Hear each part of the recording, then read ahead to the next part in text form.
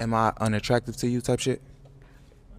I just feel okay. I want to know what's in there. Are there are there? Well, You let can me. find hang- out. That, is you the feel me? policies? You Who- who- policies in whoever, there? Whoever actually wanted to find out for real, Yeah, I was gonna ask. would That have was been my able first to. question. Whoever wanted to find out would have been able to. Y'all didn't want to stick around to find that out. There's something so in there. I don't know if there was It is. policies It in there. definitely is. Of course, a suitcase wouldn't be empty. But whoever wanted to actually find out, they would have been able to. You feel me? Oh, well, I and then as you were speaking to the other lady, I'm, my name's Adana, by the way. Uh, as you're speaking Nice speaking to meet you, Adana. Cheers. So as you were speaking to the other ladies, I thought if I wouldn't be able to get rid of you if, if we broke up or something. Like I feel like something's you're up to something.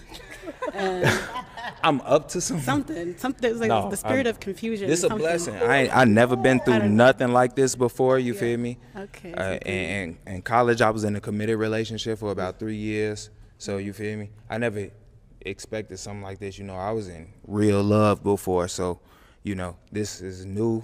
You know, I'm happy to be here. I'm ecstatic to meet all of you women. You, y'all look amazing, on bro.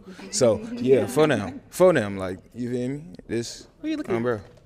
Yeah, everything. You you tough. You tough as hell. I'm a brick house, but Yeah, everything, everything, all that, all that. Yeah, yeah. And I'm a provider, so you feel me? Tough. What It's kind of tough. provider? No, it's tough. You you popped your balloon. It's tough. Oh.